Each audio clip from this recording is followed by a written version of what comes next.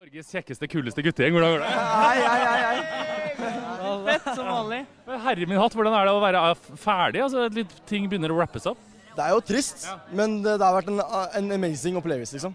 Ja, men jeg må si, du, Dette er jo da broren eh, til Sana, og vi har jo i redaksjonslokalet vårt sikla på deg nå i et halvt år. Hvordan har det vært å blitt så liksom rikskjekkas? Ikke rikskjekkas, da, hele Skandinavias. Ja, det er jo en stor eh, forandring fra det tidligere livet, men det har vært en fantastisk opplevelse.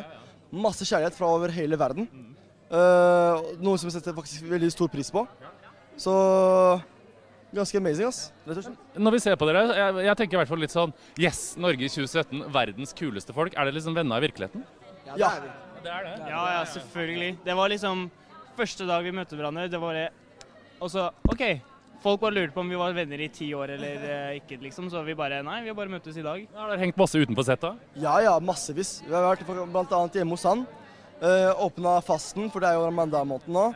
Og vi har hengt masse sammen uten, utenom det, liksom. Men Faster du nå? Ja. Er du sulten?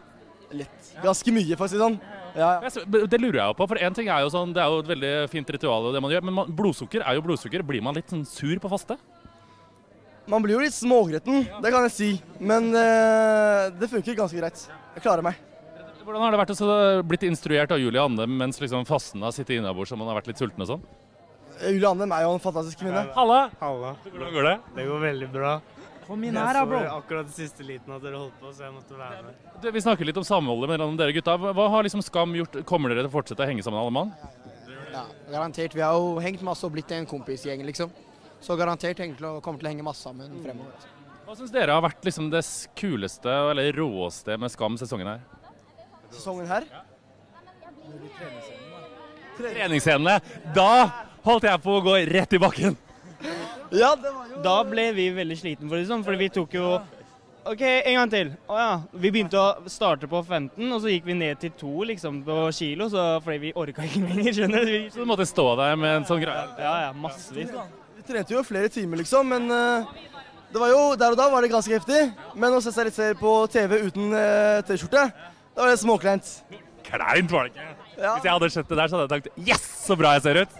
ja, det var jo Ja, Har du fått mye tilbud fra damer eller etter de Haralds gymscenen? Uh, det kan man si. Har du dame? Uh, nei. Har du mange? Uh, det får du lure på. Skal jeg ta runden? Har du dame? Nei. Dame? Nei. Dame? Nei. Dame? Nei. Dame? Akkurat nå er det ramadan, ass. Så nå, rett og slett. Marlon, dame? Nei. Ikke dame. Du, eh, sesongen her det har jo vært litt annerledes, for den har tatt for seg tro og religion, og vi har fått lært masse om islam og det å være muslim og sånn. Hvor viktig tror dere sesongen har vært for det norske folks forståelse av eh, ja, islam? Ja, det er jo mange som ser på islam på mange forskjellige syn. da. Jeg føler at denne sesongen her har åpnet forskjellige synspunkter for mange forskjellige mennesker. Så mange har åpnet øynene, for å si det sånn. Mm.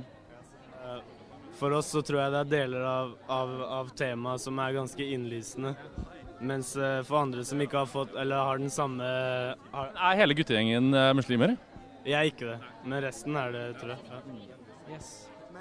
Ja, jeg var også Når jeg fikk vite at Sana skulle være hovedkarakteren, så ble jeg veldig spent og håpet at eh, det skulle gi eh, Siden det er jo et program som hele Norge ser på, så jeg håpet at det skulle gi et veldig godt syn på islam. Og det syns jeg det har vært eh, gjort veldig bra. Så ja, det klarte Julie veldig